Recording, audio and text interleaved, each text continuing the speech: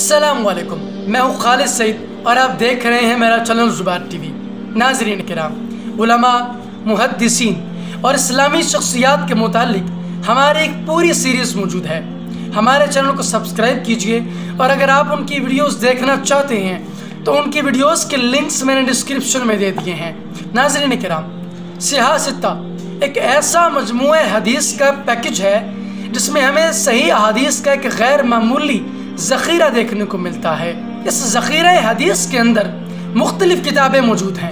کہیں ہمیں بخاری شریف کا نظارہ دیکھنے کو ملتا ہے، تو کہیں پر مسلم شریف کا عمدہ اسلوب ہماری توجہ حاصل کر لیتا ہے۔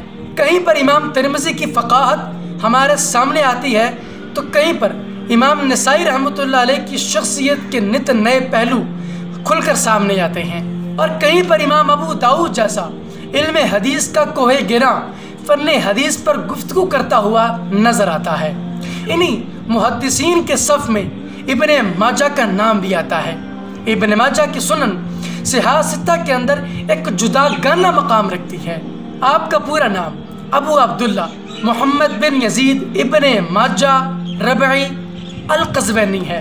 امام ابن ماجہ دو سو نو ہجری کو آذربائی جان کے ایک علاقے قزوین میں پیدا ہوئے۔ اسی وجہ سے آپ کو قزوینی کہا جاتا ہے۔ لفظ ماجہ آپ کے والد کا لقب تھا۔ اسی وجہ سے آپ کو ابن ماجہ یعنی ماجہ کا بیٹا کہا جاتا ہے۔ علم حدیث کی تحصیل کے لیے جتنا سفر ابن ماجہ نے کیا ہے، کسی محدث نے نہیں کیا۔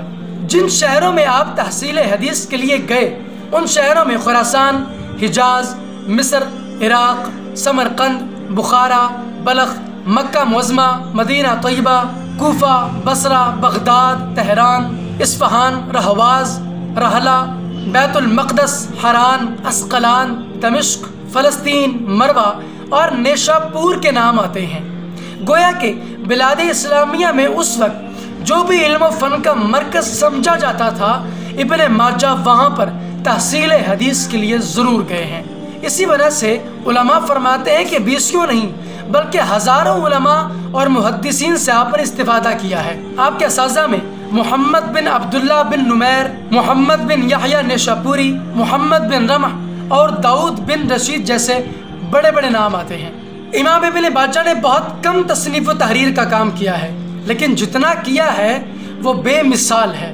اس کو سنن ابن ماچا کہا جاتا ہے۔ اس کتاب کو پانچویں صدی کے آخر میں سیاستہ کے اندر شامل کیا گیا اور اس کے بعد ہر دور میں امت مسلمہ نے اس کو قبولیت کی نگاہ سے دیکھا ہے۔ اس کی اہمیت، اس کی افادیت اور اس کی مقبولیت کا اندازہ آپ اس بات سے لگا سکتے ہیں کہ اس وقت کے بہت بڑے محدث حافظ ابو ذرا کے سامنے جب یہ کتاب پیش کی گئی تو آپ فوراً پکار اٹھے۔ اگر یہ کتاب لوگوں کے ہاتھوں میں پہنچ گئی تو بڑی بڑی جوامع اور مسانید معطل ہو کر رہ جائیں گی اور لوگ ان سے استفادہ کرنا چھوڑ دیں گے اور واقعتاً ایسا ہی ہوا۔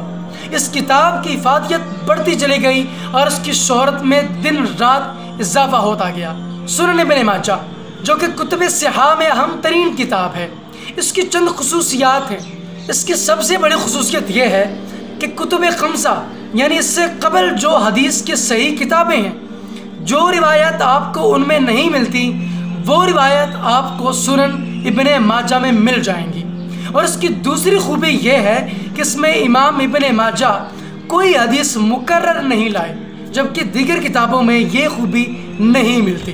اور تیسری خوبی اس کی یہ ہے کہ حدیث کو بیان کرنے کے ساتھ ساتھ ابن ماجہ اس حدیث کی فنی حیثیت پر بڑا مبصرانہ اور ناقدانہ تبصرہ بھی فرماتے ہیں۔ دین رسول صلی اللہ علیہ وسلم کی خاطر اپنے زندگی کا بہت بڑا حصہ قربان کرنے کے بعد بائیس رمضان مبارک دو سو تہتر ہجری کو آپ نے انتقال فرمایا۔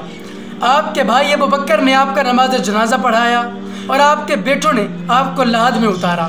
ناظرین کرام، علماء، ملت اسلامیہ کا عظیم اثاثہ ہیں۔ ہمیں چاہیے کہ ہم ان کی قدر کریں۔ ناظرین، ان لوگوں نے تو دین رسول صلی اللہ علیہ وسلم کی خدمت کرنے میں کوئی کسر نہیں چھوڑی۔ ان علم کے میناروں کی قدر کرنا ہماری ذمہ داری ہے۔ اگر ہم ان کے بارے میں لوگوں میں اویئرنس پیدا نہیں کرتے، تو ان کی شخصیت کے بے شمار پہلو دنیا کے سامنے نہیں آئیں گے۔ اسی غرض سے ہم نے محدث سیریز کا آغاز کیا ہے، جس کی ایک پوری لسٹ ربات ٹی وی کی طرف سے منظر عام پر آ چکی ہے۔